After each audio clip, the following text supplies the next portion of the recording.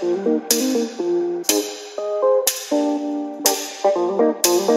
presents don't really come for free.